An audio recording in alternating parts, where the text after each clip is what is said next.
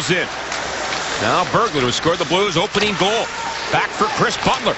Butler a shot. Tipped on goal by